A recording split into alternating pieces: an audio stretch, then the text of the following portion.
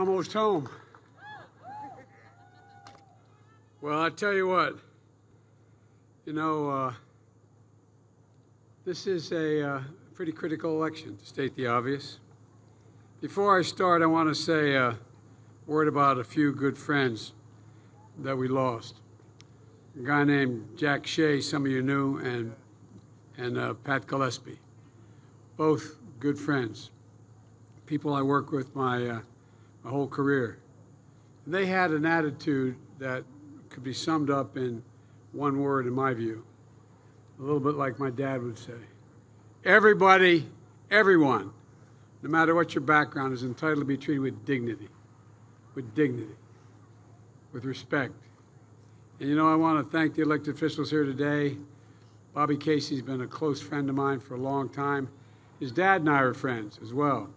Matter of fact, we are ages split. I, his dad was much older than him and I, me than I am to, to, to Bobby. And we raised in the same neighborhood in Greenridge, about uh, five city blocks away.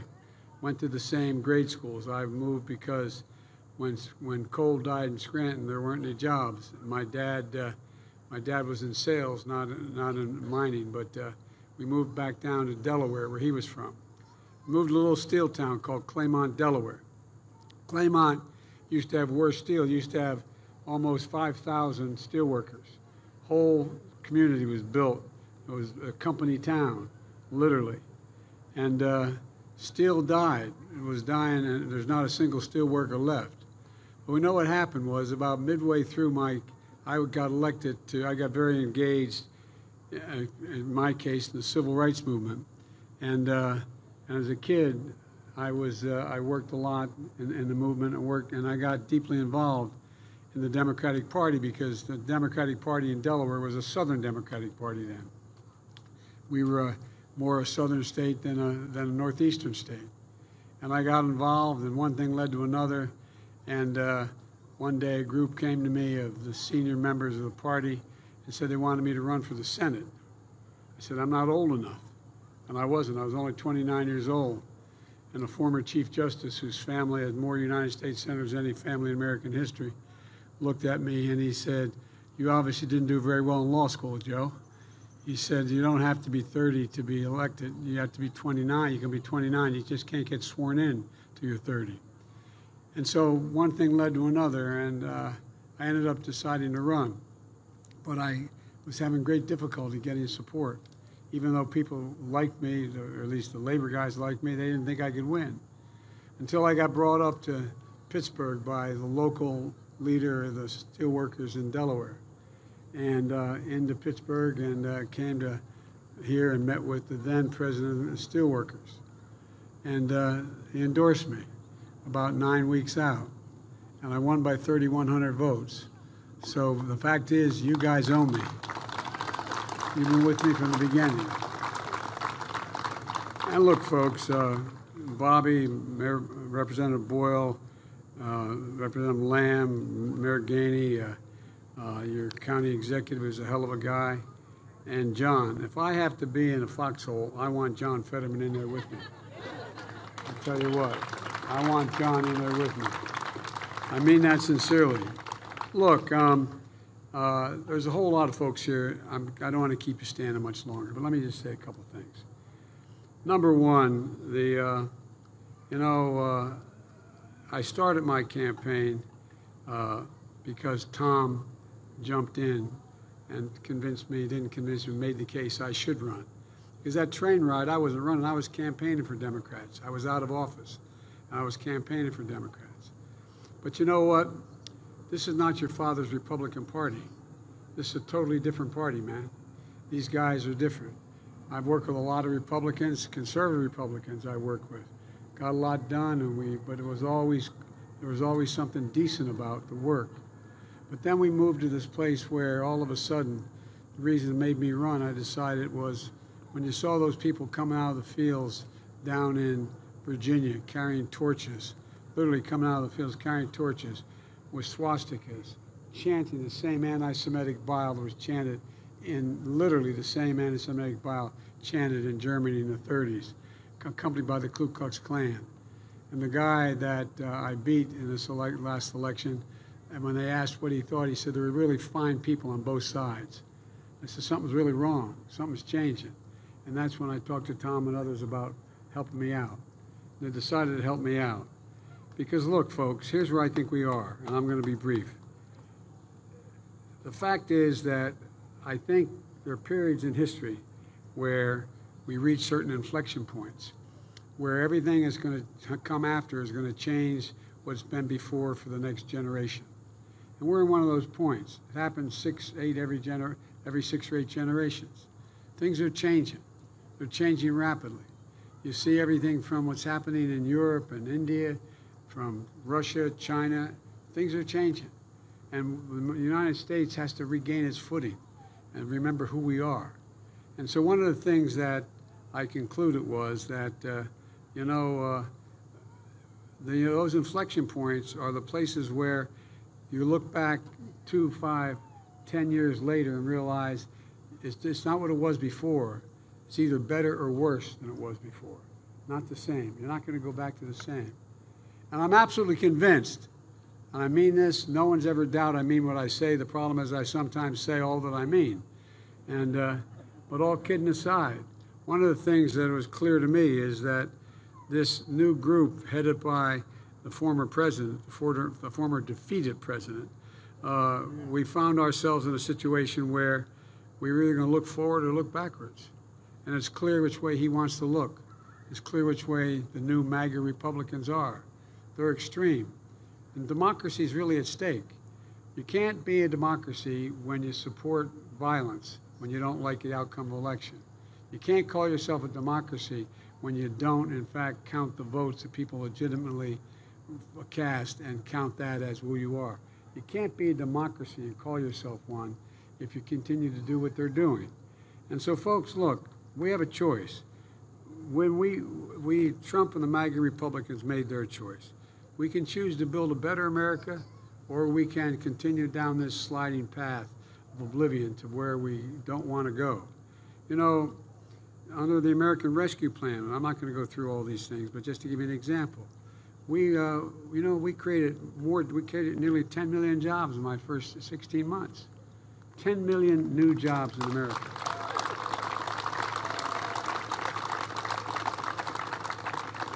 That American Rescue Plan also created and saved millions of jobs. Why? Because here in the state of Pennsylvania, in almost every state, they didn't have enough money to keep teachers on the payroll, to keep firefighters in the job, to keep police on the job, to keep people, nurses and docs on the job. And so what we do? We, in fact, gave them the money to make sure they did it. And this governor, your governor, spent it well, hiring thousands of firefighters and the like.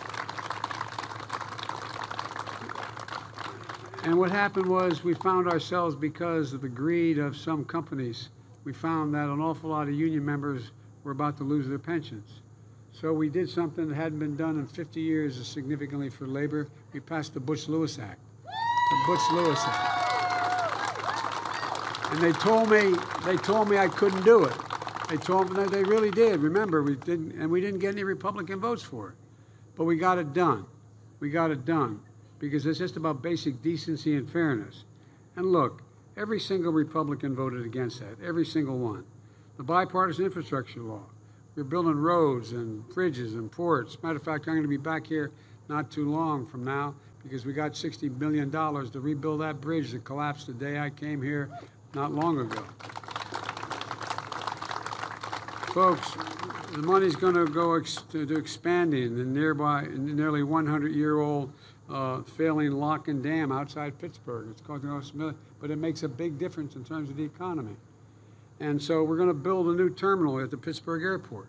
We're doing this all over the country, all over the country, and it's creating good, decent jobs. But the reason why I talk about unions is not just because it's where I come from. It's more than that. It's more than that. I said I spoke to the Business Roundtable, the CEOs of the largest companies in the, in, in, in, in the United States, the National Chamber of Commerce. And I've been straightforward with them. I said, look, I'm a union guy, and I support them for one reason, because in your interest. They look at me like, what are you talking about? You are the best trained, the most skilled workers in the world. It make no, I'm not just saying it. Most people don't realize to join a lot of the trade unions, you have to have four, five, six months, uh, six years of training. It's like going to college. You get paid while you're there, but not very much.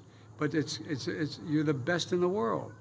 And it makes a hell of a lot of sense for America to spend and companies spend a little more money to have something going to last a whole hell of a lot longer than it is to do something on the cheap.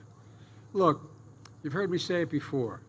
Wall Street didn't build the middle class. Wall Street didn't build America. The middle class built America, and unions built the middle class. That, that's, that's just a fact.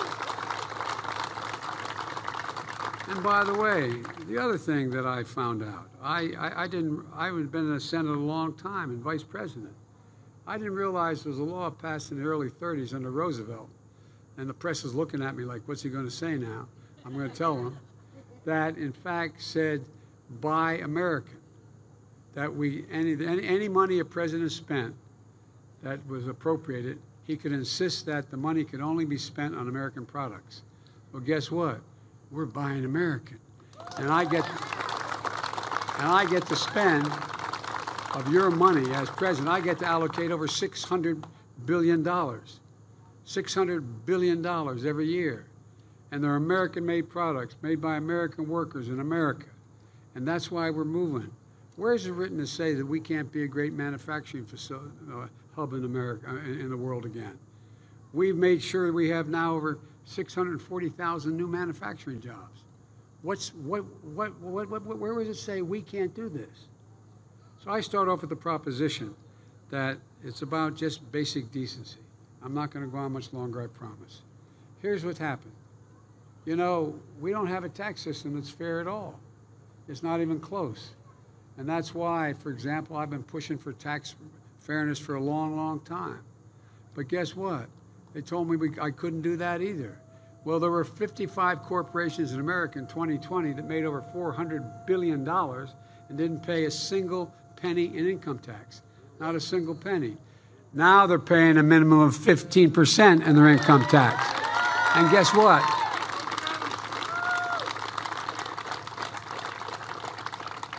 Talk about the Inflation Reduction Act, and I've been fighting when I was a senator for a long, long time, fighting the pharma companies, fighting so the Medicare could set the price they pay for Medicare drugs and negotiate for those drugs. Well, guess what? Anybody of you, you don't have to raise your hand, but any of you have a child who has type 2 diabetes and needs insulin every day, uh, once a week? Well, guess what? It costs those outfits 15 bucks to make and package it. That's all it takes. You know what they charge? They charge somewhere between 625 bucks a month and 1,000 bucks a month. It's wrong. It's simply wrong. They can make three and a half times the profit that they that, that it cost them to do it. Well, they said it couldn't be done. Well, guess what? we were able to change it so allowing, which has been working for a long time, allowing Medicare to negotiate drug prices. We pay the highest drug prices of any nation in the world here in the United States of America. And guess what? There's no rationale for it. So we finally passed. Medicare is now negotiating.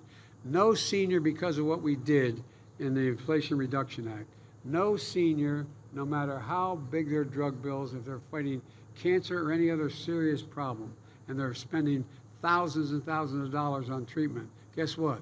They'll not have to pay more than $2,000 a month no matter what their bill is, no matter what their bill is. If they need insulin, they won't have to pay more than $35 a month, no matter.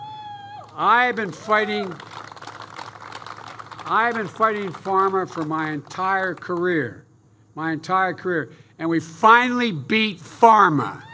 We finally beat pharma without a single Republican vote. Not a single vote. Well, I tell you what, the fact is that there's a lot more we have to do. Like I said, we built 650,000 manufacturing jobs in America today. Unions in this country are have now have the support, whether they're union members or not, of over 60% of the American people. Never before has unions been that popular. Labor, unions, unions.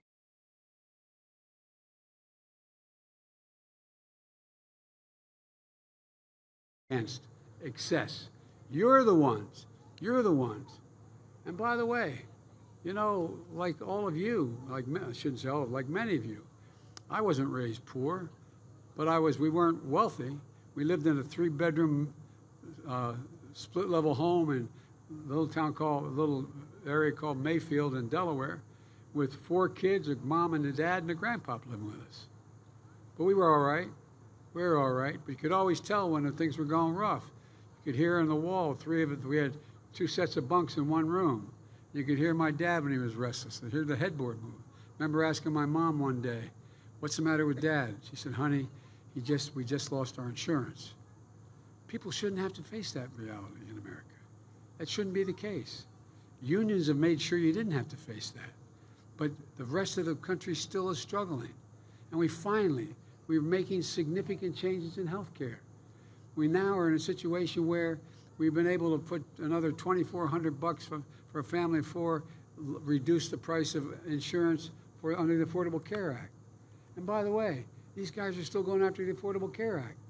They want to get rid of it. And the only reason anybody with a pre-existing condition that isn't wealthy and can afford a very expensive policy has any coverage is because of the Affordable Care Act. The only reason. And they're still going after it. And Social Security. So your first paycheck, you've been, you've been paying for Social Security. Well, guess what? The guy heading up the Republican campaign committee for the United States Senate, Senator Scott from the South, and the guys whose home state I just lived in Wisconsin, these guys don't even think Social Security should be guaranteed. They want it on the ballot box, on the ballot every five years. Every five years has to be reauthorized. You paid for it. And the guy in Wisconsin, he concluded that it should be every single year. Every single year you should have to vote on whether or not you keep Social Security, whether you keep it or cut it or change it or alter it. What's going on here, man? This is not the country that most of you, this is not the country most Republicans, most Republicans who represented this state supported for the longest time.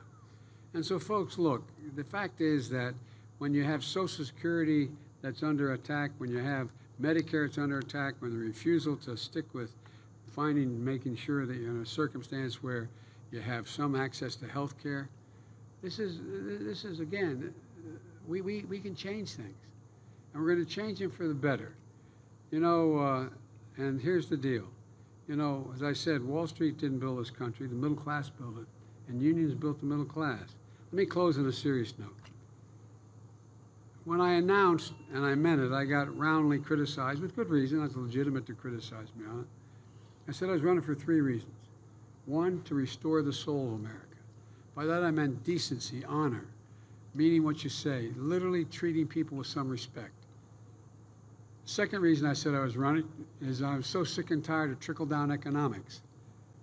I wanted to build the economy from the bottom up and the middle out because when that happens, the wealthy do very, very well. They do very well, and everybody's got a shot. Everybody's got a shot. And the third reason I said I was running because I wanted to unite the country. And because you can't maintain a democracy without being able to reach a consensus.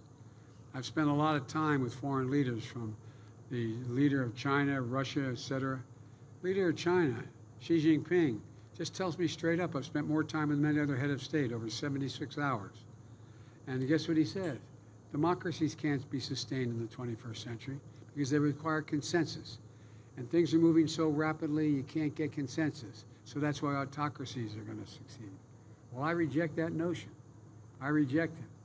I think we can come out of what we got into stronger than we got into it, when we stronger than before we started. And folks, look, you know, uh,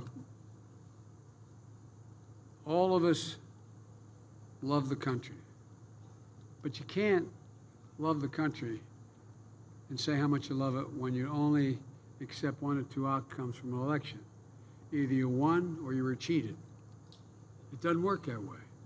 You can't love the country when you refuse, refuse to maintain just the basic democratic principles that were set out that we all learned from the time we were kids in school, that you accept the outcomes of elections. You can't say you love the country when in fact you either win or you have been cheated. And that's where we are now. And I, I, I don't I, there's much more to say, but I've already said too much to you. But here's the deal. I am absolutely convinced. I'm absolutely convinced, and I mean this from the bottom of my heart. There's not a thing we can't do in America. I mean it. Not a single solitary thing we can't do. If we do it together, I, I, I mean it.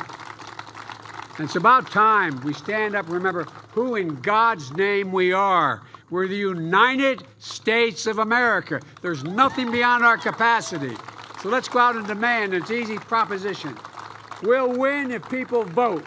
So just remind everybody vote, go out and vote. We vote, we win, and reestablish this country and make it even better than it was before. Thank you all for standing so long. God love you. And way beyond. Thank you.